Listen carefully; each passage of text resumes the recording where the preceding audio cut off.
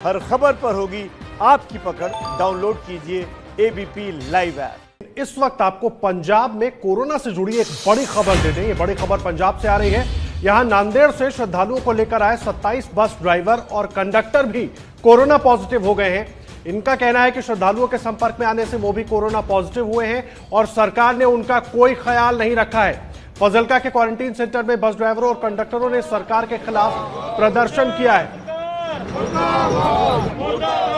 हमारे कार्यकारी संपादक जगविंदर पटियाल जुड़ गए पूरी जानकारी के साथ। जगविंदर, लगातार लापरवाही का सिलसिला तो हम देख रहे थे। ड्राइवरों और कंडक्टरों का ये प्रदर्शन सरकार की कार्यप्रणाली पर कई सवाल खड़े कर रहा है।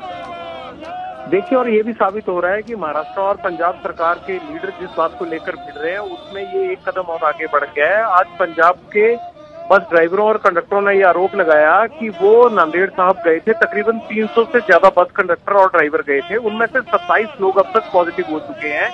और उनका यह आरोप है कि श्रद्धालुओं के साथ ही उनको रखा गया और पहले जब वो नांदेड़ गए थे, तब उनको बिल्कुल कोरोना के सिम्टम नहीं थे। जब वापिस आए हैं और उनके साथ रहे हैं, उसके बाद उनको कोरोना की रिपोर्ट पॉजिटिव आई है। अमृतसर के गुरु नानक देव अस्पताल में कई डॉक्टर भर्ती हैं और इसको लेकर इन्होंने कैप्टन अमरिंदर सिंह सरकार के खिलाफ प्रदर्शन किया। आप हैरानी देखिए कि क्वारंटीन सेंटर के बाहर ही प्रदर्शन हो रहा है, वहीं नारेबाजी हो रही है, वहीं फूके जा रहे हैं। ये किस तरह का क्वारंटीन सेंटर हुआ? तो अमरिंदर सरकार एक बार फिर जो लोग वापिस आए हैं उनको कैसे रख रही है कैसे इलाज करवा रही है कैसे क्वारंटीन किया गया उन तमाम चीज़ों को लेकर ये बहुत सी बातें सवाल उठाती हैं कि जब क्वारंटीन में प्रदर्शन हो रहे हैं तो ये कैसा क्वारंटीन हुआ? इसका मतलब कोई अधिकारी कोई मेडिकल स्टाफ इनके आसपास या इन पर नज़र रखने के लिए नहीं है। और अब जो रोडवेज़ के अधिकारी हैं वो इस बात को छुपाने की कोशिश भी कर रहे हैं कि एग्जैक्ट कितना नंबर है। लेकिन ड्राइवरों ने खुद अपने वीडियो अपने अस्पतालों के अंदर से जारी करने शुरू कर दिए हैं।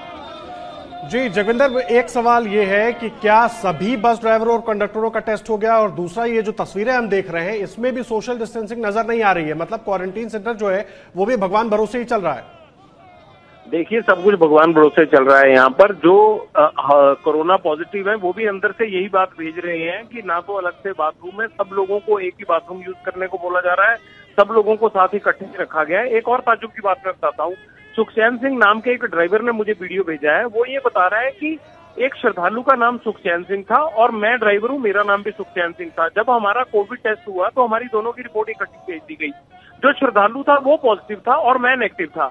लेकिन मुझे तीन दिन तक उन्होंने कोविड का पॉजिटिव मरीज़ समझकर अंदर रखा गुरु नानक देव हॉस्पिटल में और जब एज डिफरेंस देखा तो उनको लगा कि ये चवालीस साल वाला आदमी नहीं बल्कि तैतीस साल वाला सुखचैन सिंह जो है वो कोरोना पॉजिटिव है। तब तक देखा कि वो जो कोरोना पॉजिटिव आदमी था वो क्वारंटीन क्वारंटीन सेंटर में बाकी श्रद्धालुओं के साथ ही रहता रहा तीन दिन तक।